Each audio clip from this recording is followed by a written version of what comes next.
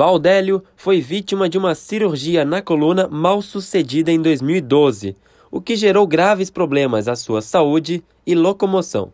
Eu tenho uma lesão na medula, tenho sofro de dor crônica intratável, bexiga neurogênica e zero força nas pernas, né, para me locomover.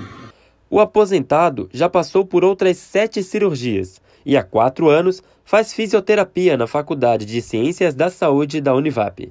E foi na piscina ajustável onde encontrou o lugar de maior conforto. Em outra piscina eu não consigo entrar. Aqui em São José tem outras duas piscinas onde não dá para entrar.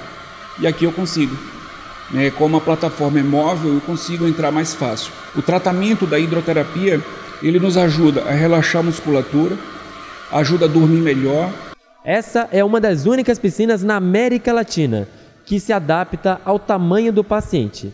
Isso é possível graças a um sistema de piso que permite que a terapia ocorra em qualquer profundidade, de 0 a 1,70m.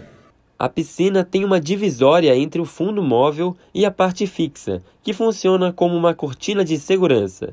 Além disso, duas barras debaixo da água permitem a realização do chamado treino de marcha, que permite o paciente andar. A plataforma ajustável contribui a transferência dos pacientes que são cadeirantes, né? Então eu posso transportá-lo para uma cadeira específica para ficar imersa e descer a plataforma, eu posso ajustar de acordo com a altura do paciente.